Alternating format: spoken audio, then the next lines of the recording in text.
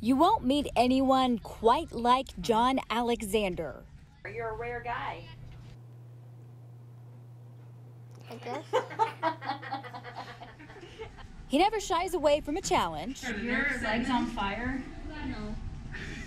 Cool. That's why I don't do this with him anymore. I can tell. I can tell your legs are. I can tell since you asked that your legs are probably like. Yeah, they are. That's exactly what they're doing.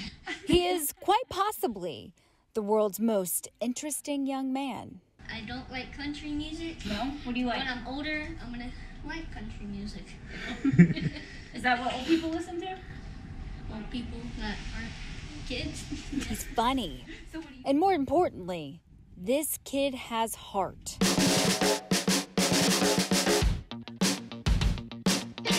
This whole place is just amazing. At just eight years old, John has been through a lot.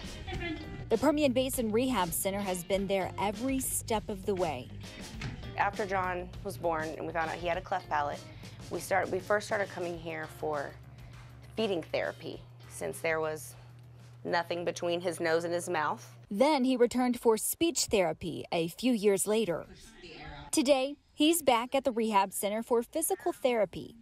He's getting treatment for something his family initially thought was growing pains. He started complaining about leg pain, his left leg. He was having a lot of pain in his left leg. A few trips to the doctor proved it wasn't growing pains. John has a disease called leg calf Perthes disease, which is a fancy way of saying the the head of his femur, the ball of his femur, lost blood flow, so it started to break down inside his hip joint. The rare disease forced him into a wheelchair and an eventual surgery to repair his hip. This rod went into the side of his femur, and this piece went down the side of his femur, and it was screwed in that way. And he had this hardware in his leg from January to July while his femur helped grow grew back together. The condition brought John right back to the rehab center with the goal of getting him back on his feet. So we're really strengthening the left side and stretching the right side because the right side is the side that he's put weight on this whole time, and those muscles are used to working within just a unilateral or one side of his body. That's what's overtaken everything. With every stretch and exercise, John not only performs, he also understands. He um, likes to know why we're doing everything.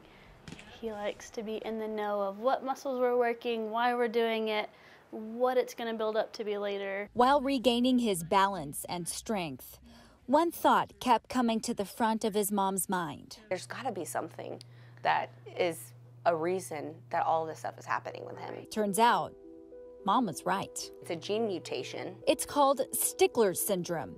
It is very rare and even harder to diagnose. The Stickler syndrome caused him to have the cleft palate. It caused him, he's, he's really nearsighted, so it caused him to have the extreme nearsightedness. We act, it caused the it caused the Legg-Calvé-Perthes disease. They were able to get confirmation through a genetic test last summer. It was like a weight lifted because it was finally an answer. The ultimate understanding. I've just been wondering all my life why is this happening to me? Now that he knows, all of John's attention can focus on getting better. He's always willing to go the extra mile. If I say we're going to do 10 to 15, he's like, which one? Do you want 10 or do you want 15? I'll do 20 instead. No more walker, no more wheelchair.